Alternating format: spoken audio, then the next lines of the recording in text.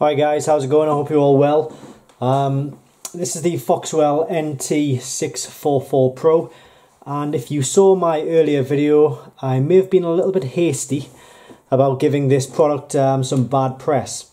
Uh, basically we tried to connect this to uh, a few vehicles and it wasn't working at all um, and I'm going to show you how to actually repair this.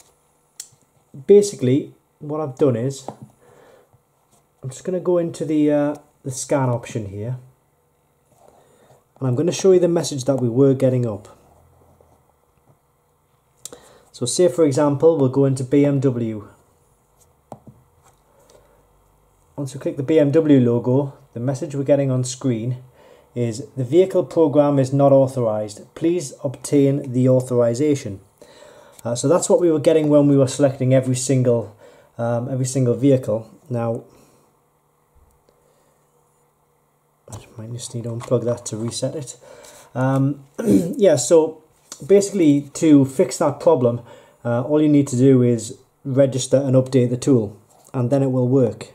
It really is as simple as that because I'll show you what we've done. We've actually gone in and registered the kit and updated just the Porsche software just to test it. And when we click the Porsche logo now, it gives us all of the options to now select our specific vehicle. So we've done that for the, uh, the Porsche one, but say for example we wanted to go to Renault, same message again. So that's that's the problem that a lot of people are getting.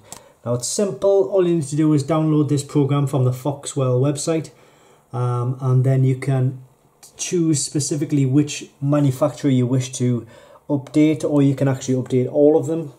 Um, but I've since updated the uh, the Porsche the Porsche software on this particular kit and it really does work well. So um, I do have to take back a bit of the criticism that I uh, previously gave this kit.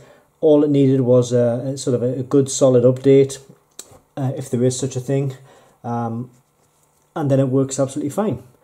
Uh, so thanks for watching this video, and I hope it helps.